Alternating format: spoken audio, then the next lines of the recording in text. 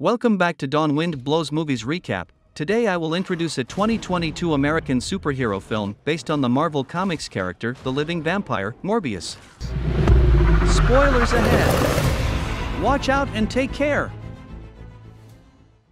The movie starts in Costa Rica, and the sinister aspects of the place are underlined with the name ending with De La Muerte, which means of death. The big, beefy mercenaries accompanying Morbius are nervous and insist they should leave before dark. Morbius intends to trap some vampire bats for his experiments, and the bait is himself. He cuts his palm, bloodthirsty bats flock out, mercenaries all rush to leave. Flashback to 25 years ago and a hospital in Greece.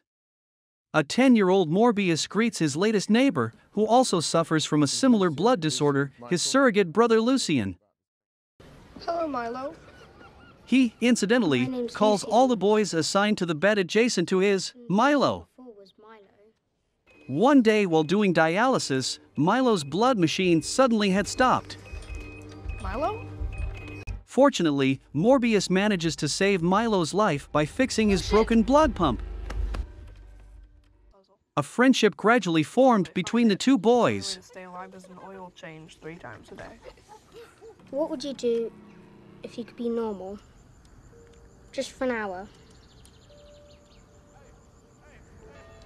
I don't think about it.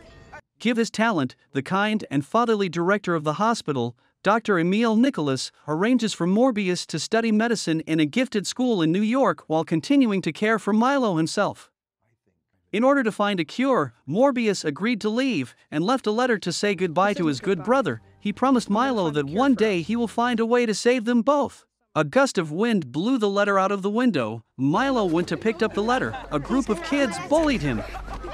Despite his body is weak, he insists on resisting them, which implied that Milo's character is not as soft as his body, which also brought down the ambush for the main storyline later his conflict with Morbius. Working towards a cure for his illness, Morbius creates synthetic blood, which helps countless people and getting him a Nobel Prize in the bargain. Returning to his lab, Morbius colleague Martine Bancroft derides him for illegal experiments he is conducting with Piranhayak vampire bats he had illegally stolen from the Amazon rainforest. Attempting to extract their transgenic vampirism, remixing human DNA with bat DNA and produce and effectively curing his disease. He tests his serum on a lab rat. Mobia injected the serum into mice. It was the 117th attempt he tried, and again it resulted in a failure. The mice who appears to die. Moments later, Anna starts to have a seizure, but Morbius is able to take care of her before she suffers a stroke. Martine looks back at the lab and sees that the rat is revived and moving, meaning Morbius's serum is a success. Overjoyed, Morbius found Milo at first sight and told him the good news, indicating that there was hope for a cure. Knowing that it is most likely their last and best shot at living a normal quality of life. Milo agrees to fund Morbius' latest idea for a cure, even though Morbius warns him that it is highly illegal and crosses ethical lines. Morbius boards a container ship in international waters along with his colleague, Dr. Martine, where he asks her to administer the providential cures that he has created. The 243 test, this time is human trials on Morbius himself.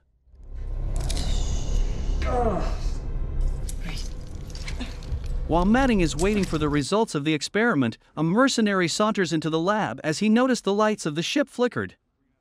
Sure, I can see it. But An alarm went off in the lab, and when they turned around, they saw his broken free from the straps on his chair. Martin opened lab door, they found him as crawling on the ceiling. Morbius is now so powerful that he killed the mercenary and drained his blood without even trying. The other mercenaries heard the shot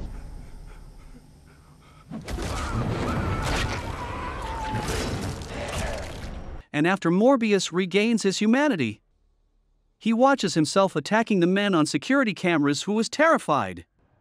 He has fled after calling in the Mayday response and deleted all camera records. This is the LCV Murnau. The LCV Murnau. Mayday. When the FBI arrived, all that remained were the eight drained blood bodies with fake identities, which leads to a dead end in the investigation. Martine is found alive and was taken to the hospital.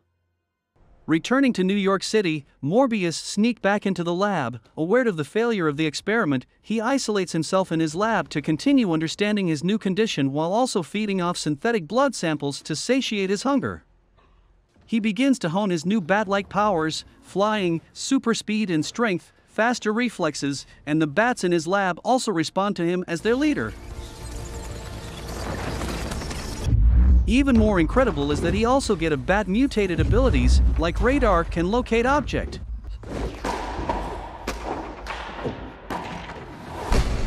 Soon after, Milo came to the lab looking for Morbius. Michael. It's me. He found Morbius locked himself in a room, who looks very weak.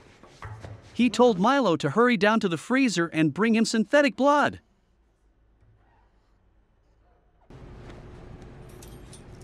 Morbius's mutation was brought under control after drinking the blood. Milo begged him desperately for the serum.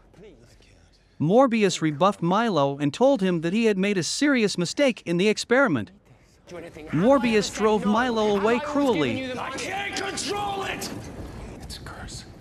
On the other side, Martin woke up in the hospital. Two FBI agencies came to investigate what happened on ship that day. She did not want to betray Morbius. She claimed did not remember anything.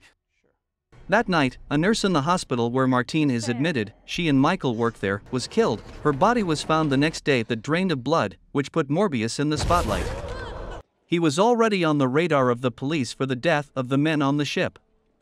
The police soon arrived at the hospital. Morbius took some artificial blood and rushed to leave. But just as he reached the door, two agencies ran into him. He tries to escape, but ultimately has to surrender to the police.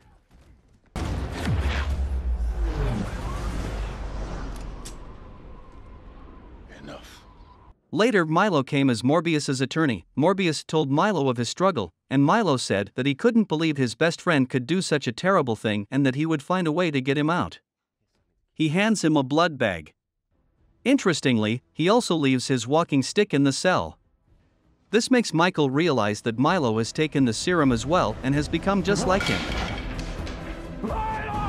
Michael escapes from his cell and catches up to Milo, who has already let loose his thirst for human blood, killing people and drinking theirs. As Milo becomes a vampire and kills a man at a newsstand, Morbius found him by using his echolocation ability.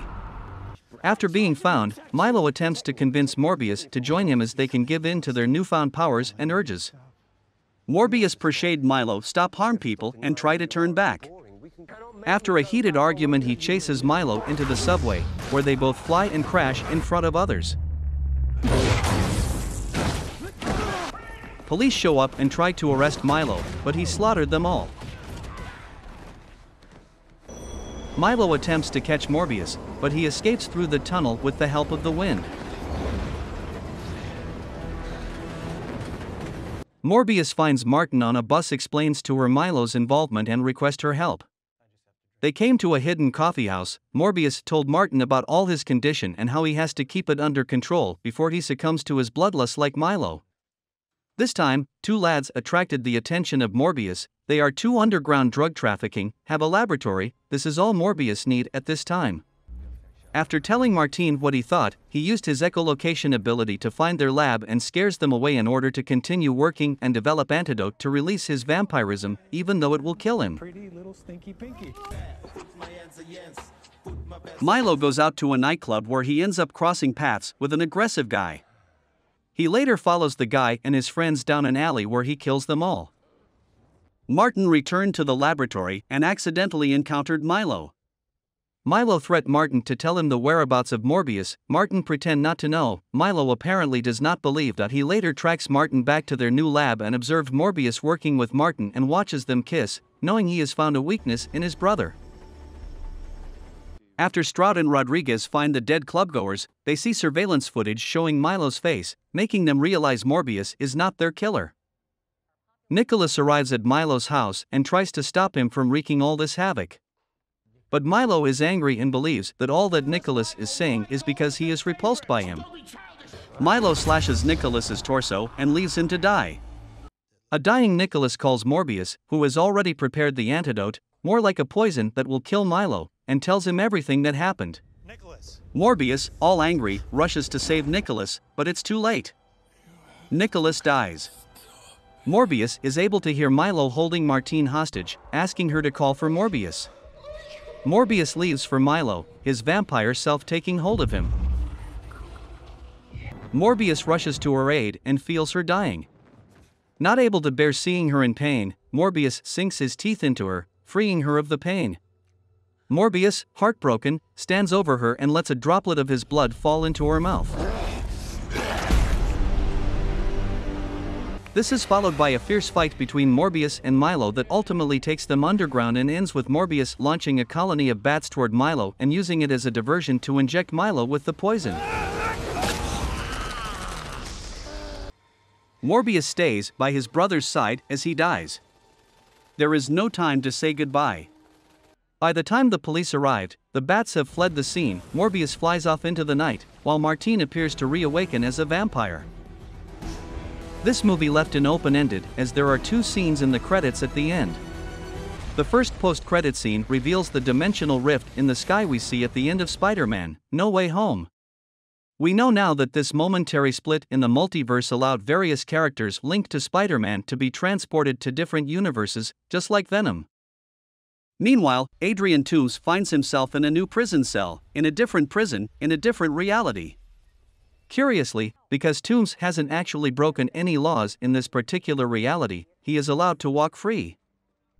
Then, in the second post credit scene, we see Morbius on a seemingly deserted patch of land, waiting for something or someone.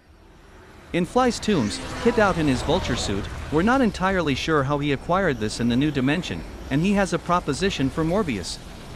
Vulture explains that he thinks he's in a different universe due to Spider Man, and suggests that he and Morbius form a team. This is an obvious nod to the formation of the Sinister Six. Are you looking forward to the, the next Sinister Six series? Let us know in the comments section. Thank you for watching.